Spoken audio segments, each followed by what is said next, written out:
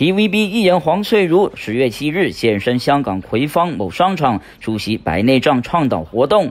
黄翠如自曝早年曾接受激光手术治疗近视问题，当时有一只眼睛视力正常，另外一只则有严重的近视，所以便和视力同样不好的男友肖正南一起手牵手去做了矫视的手术。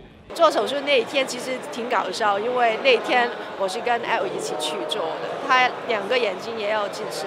所以在我们派拖刚刚开始不久，我们约会就是一起去做手术，挺搞笑的。因为我们四个眼睛有伤口，也做手术之后都看不到东西，看不清楚，所以就只是我一个眼睛要找计程车就走了，所以我们计划不好。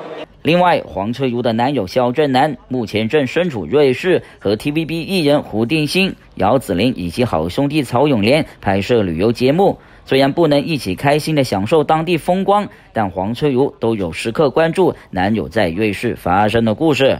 对啊，他现在很开心啊，他他现刚刚我听说他去了玩那个那个画墙上，所以他说他有一点点不舒服。